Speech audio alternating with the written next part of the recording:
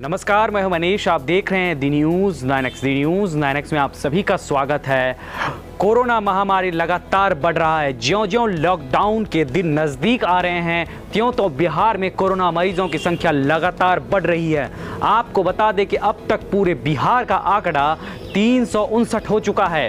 पूरे बिहार में कोरोना लगातार पाँव पसार रहा है। आपको बता दें कि कोरोना संक्रमितों की संख्या अब तक पूरे देश भर में उनतीस के पास पहुँच चुकी है। वहीं आंकड़े अब बिहार में काफ़ी तेज़ी से बढ़ने लगे हैं। कोरोना अब तक कुल 26 जिलों तक पहुँच चुका है। आपको बता दें कि कोरोना संक्रमितों का दायरा अब सीमांचल में भी आ चुका है। इसका पूरा मामला हम आपको बताते हैं। जैसे ही लॉकडाउन हुआ, वैसे बिहार के बाहर रहने वाले तमाम लोग, चाहे मजदूर हो या कर्मी, सभी जैसे तैसे बिहार आने लगे। इसी क्रम में कई लोग कोरोना संक्रमितों के संपर्क में भी आए। इसी वजह से यह ज़्यादा लोगों तक पहुँचा। आपको बता दें कि सीमांचल में लगातार कोरोना संक्रमित निकल रहे हैं। यहाँ स्पष्ट कर दें कि यह पूरा एरिया बिहार और नेपाल से सटा है, जिसे पूरी तरह से सील कर दिया गया था। आपको बता दें कि सीमांचल में सबसे पहला केस मधेपुरा में आया। इसके बाद पूर्णिया में, और अब सबसे बड़ी खबर है कि अररिया से है।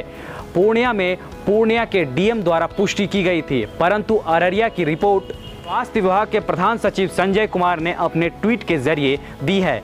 अब हम उन जिलों के बारे में बताते हैं कि किन जिलों में कितने कोरोना पीड़ित हैं। सबसे पहले जो पूरे बिहार के लिए बड़ी जगह है, वो है मुंगेर। यहाँ इक्यानवे लोग कोरोना पॉजिटिव हैं। दूसरी बात करें तो रोहतास, वहाँ बत्तीस। वहीं बात करें बिहार की राजधानी पटना की तो उनचालीस हैं। नालंदा से 35 कोरोना संक्रमित मरीज़ हैं। सिवान से 30 बक्सर से 25 गोपालगंज से 18 भोजपुर से 9 औरंगाबाद से सात, गया से छः पूर्वी चंपारण से पाँच, भागलपुर की बात करें तो वहाँ पाँच और मधुबनी में भी पाँच, सारण की बात करें तो चार, अरवल की बात करें तो चार हैं, लखीसराय की बात करें तो चार, नवादा में चार बांका में भी तीन संक्रमित मिले हैं। जहानाबाद में एक, वैशाली में दो, दरभंगा में बात करें तो एक, और अब आते हैं हम सीमांचल की तरफ़। मधेपुरा में एक, पूर्णिया में एक, और अब अररिया में एक।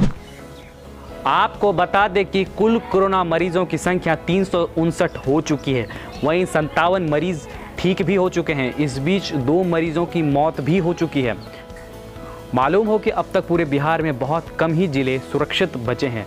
कोरोना जिस प्रकार पाँव पसार रही है, इससे लड़ने के लिए हमारे पास सिर्फ़ एक ही हथियार है, वो है सोशल डिस्टेंस इसका पालन करते रहें, साथ ही साथ सरकार सरकार की दी हुई गाइडलाइंस का पूरी तरह पालन करें।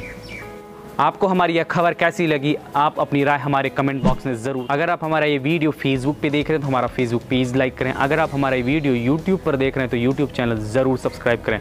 साथ ही साथ बेलाइकन ज़रूर बनाएँ, ताकि हमारे हर की गई अपलोड वीडियो सबसे पहले आप तक पहुँचे।